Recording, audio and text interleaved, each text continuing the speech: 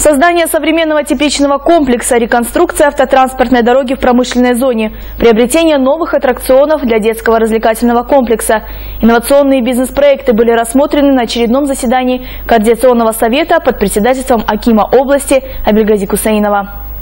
Представление проектов по форсированному индустриально-инновационному развитию состоялось в здании областного акимата. Бизнесмены из различных отраслей, ТО «Горкомтрас» Караганды, ТО «Молочная фабрика Натиже», ТО «Фирма Плюс Ауди», ТО «Дамир», ТО «Кушом-2006» и другие предприятия представили проекты по расширению и обновлению бизнеса. Наша компания «Плюс Ауди» существует э, с октября 1993 года.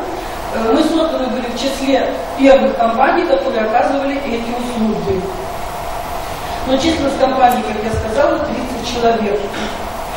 Э, наш первый проект, который мы реализовывали, это было освоение площадей до 140 метров квадратных, то есть объемы нам такие позволяли такую вещь освоить. На заседании были заслужены проекты социальной и экономической значимости. Например, проект по созданию современного тепличного комплекса стоимостью 3 миллиарда 600 миллионов тенге. Поможет обеспечить население Карагандинской области свежими овощами по оптимальной цене. А расширение этой отрасли даст возможность экспортировать продукцию в другие регионы, что положительно скажется на экономике. Однако по некоторым проектам возникли вопросы и Аким области поручил рассмотреть их повторно. Вот те два проекта, о которых мы говорили, вот, «Престиж», «Поликлиника», э, и второй проект э, касательно э, автотранспорта, Дамир, а эти два проекта пока отклоняются. Надо будет возвращаться и еще раз смотреть внимательно. Аида Ибраева, Улжас Габацев, Алексей Спиридонов, Первый Карагандинский.